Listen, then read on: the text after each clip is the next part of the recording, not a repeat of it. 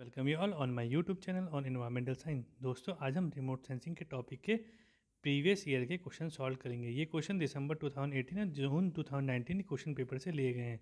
तो दोस्तों मैं आपको क्वेश्चन पढ़ने के लिए 10 सेकंड दूँगा और आपको उसका आंसर सोचने के लिए 10 सेकंड दूँगा। उसके बाद मैं आपको आंसर डिस्प्ले करूँगा। तो दोस्तों, देखते रहे वीडियो और चैनल को सब्सक्राइब करना ना भूलें। अगर आपने मेरे चैनल को अभी तक सब्सक्राइब नहीं किया और अपने दोस्तों के साथ शेयर ना, शेयर करना ना भूलें। तो दोस्तों, चलो ही स्टार्ट कर लेते हैं क्वेश्चन सीरीज़।